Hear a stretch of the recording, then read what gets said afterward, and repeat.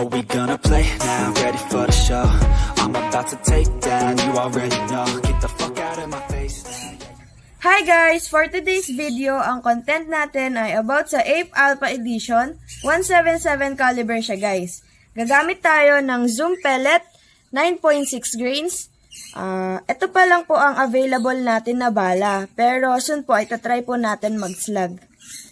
Ang gamit po namin na scope ay Hawk 127 Magnification. Kung mapapansin nyo po, Ah, mababa siya, pero sabi ni D ay enough na sa pag-grouping sa 100 yards.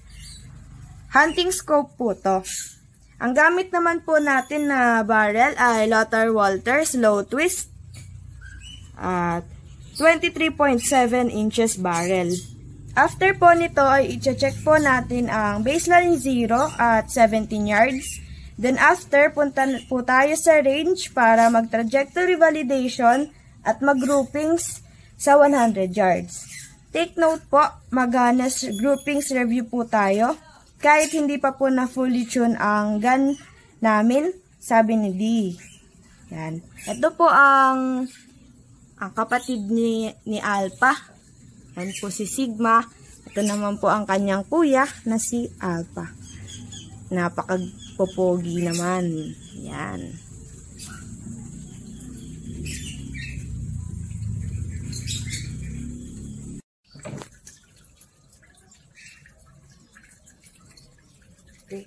So, hi guys. Um, Mag-check tayo ng 0 at 17 yards. Sabi kasi ni D, naka-0 na. Pero, ah, titignan natin ulit. Okay? Gamit natin ay Alpha. ah, 177.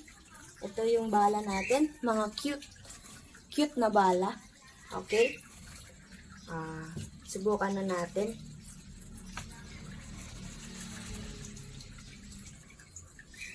Yan. Medyo cute kasi talaga yung bala natin, guys.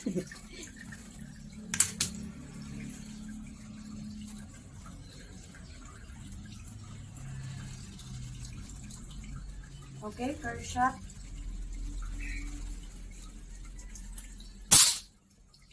Okay. Isa pa.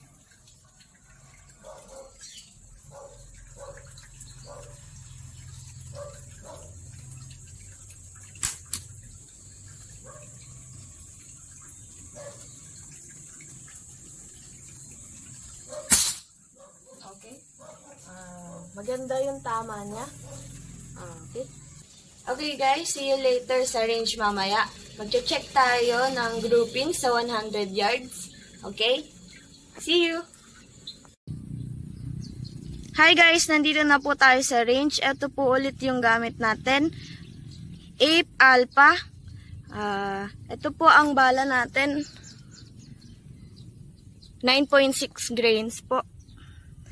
At doon naman po yung ating splatter. Ayan. Magta-trajectory validation po tayo tsaka groupings sa 100 yards. Okay. Okay guys, mag-groupings na po tayo. Simulan na po natin. Okay, game.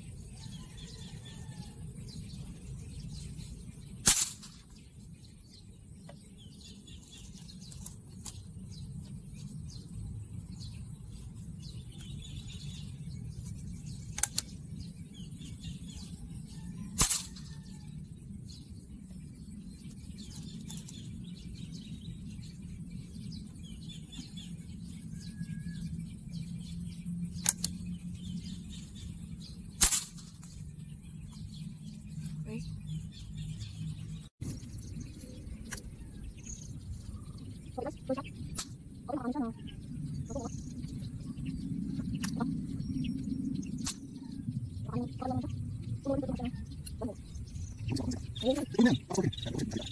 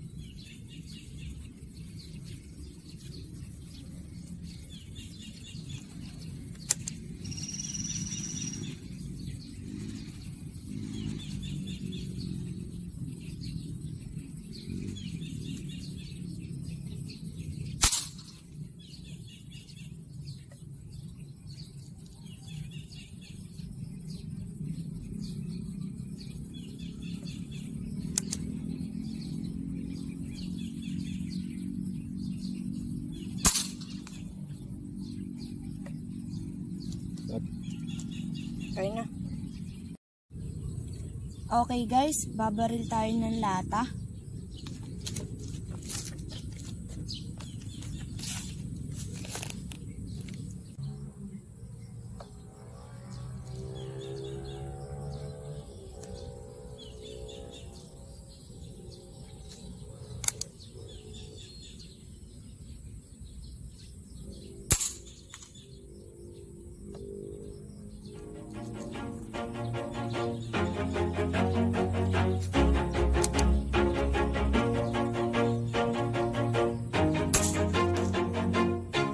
Always do it on my own, so I gotta get through it. And the only thing I know is.